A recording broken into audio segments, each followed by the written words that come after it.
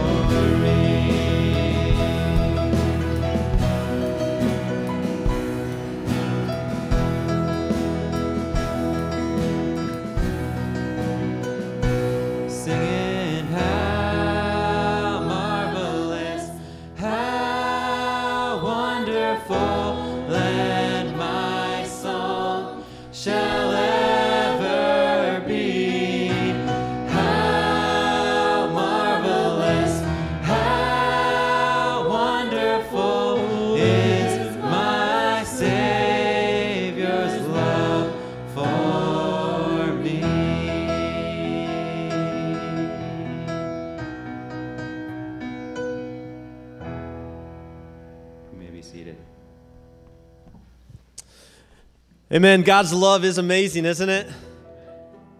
Revelation chapter 4 reads After this I looked, and behold, a door standing open in heaven. And the first voice which I heard speaking to me like a trumpet said, Come up here, and I will show you what must take place after this. At once I was in the Spirit, and behold, a throne stood in heaven with one seated on the throne. And he who sat there had the appearance of jasper and carnelian, and around the throne was a rainbow that had the appearance of an emerald. Around the throne were 24 thrones, and seated on the thrones were 24 elders clothed with garments with golden crowns on their heads. From the throne came flashes of lightning and rumblings and peals of thunder, and before the throne were burning seven torches of fire, which are the seven spirits of God, and before the throne there was, as it were, a sea of glass like crystals. And around the throne, on each side of the throne, are four living creatures, full of eyes in front and behind. The first living creature like a lion, the second creature like an ox, the third creature like the face of a man, and the fourth like an eagle in flight. The four living creatures, each of them had six wings, are full of eyes all around within, and day and night Day and night, they never cease to say, Holy, holy, holy is the Lord God Almighty, who was and is and is to come. And whenever the living creatures give glory and honor and thanks to him who is seated on the throne, who lives forever and ever, the 24 elders fall down before him who is seated on the throne and worship him who lives forever and ever they cast their crowns before the throne, saying, Worthy are you, our Lord God, to receive glory and honor and power, for you created all things, and by your will they existed and were created.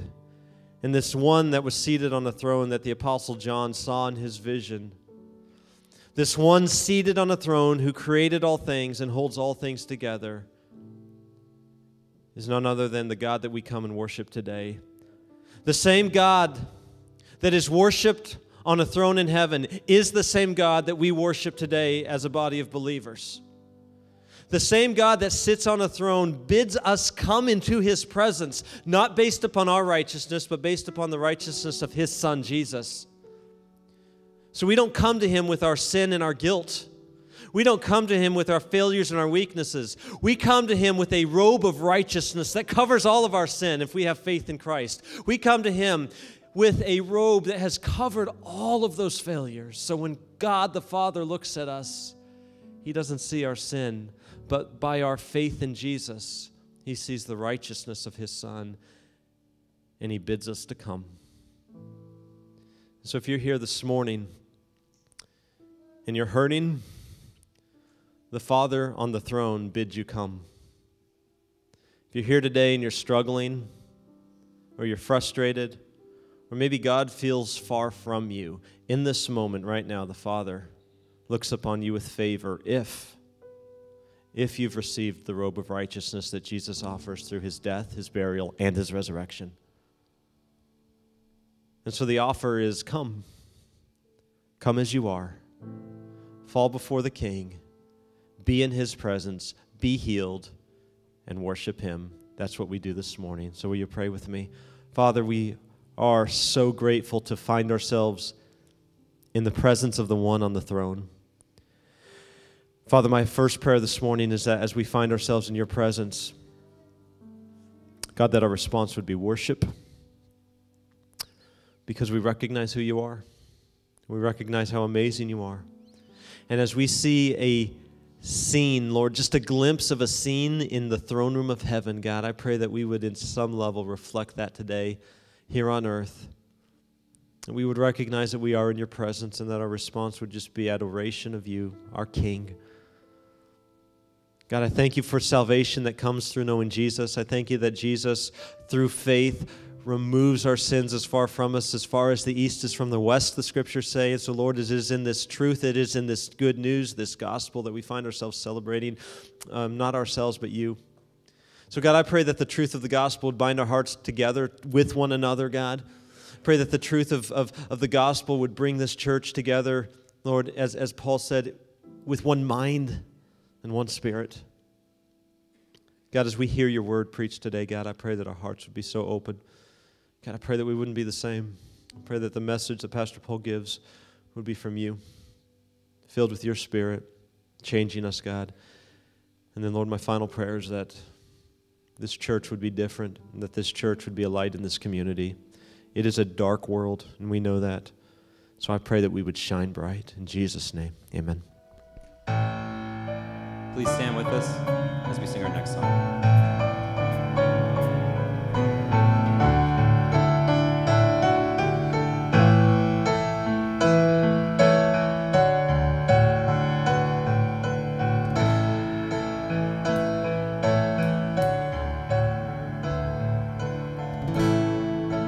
One day when heaven is filled with His praise.